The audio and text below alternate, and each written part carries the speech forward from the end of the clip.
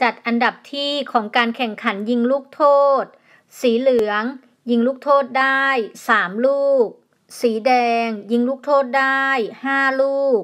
สีฟ้า ยิงลูกโทษได้ 1 ลูก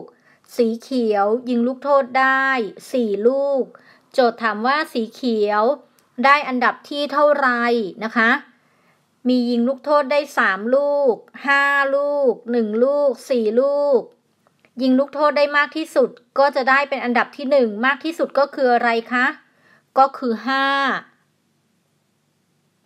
ก็จะได้อันดับที่หนึ่งห้าแล้วต่อไปสี่ก็จะได้อันดับที่สองก็คือสีเขียวนะคะ สีเขียวได้อันดับที่เท่าไร จากที่เราจัดอันดับแล้วก็คือ สีเขียวได้อันดับที่สอง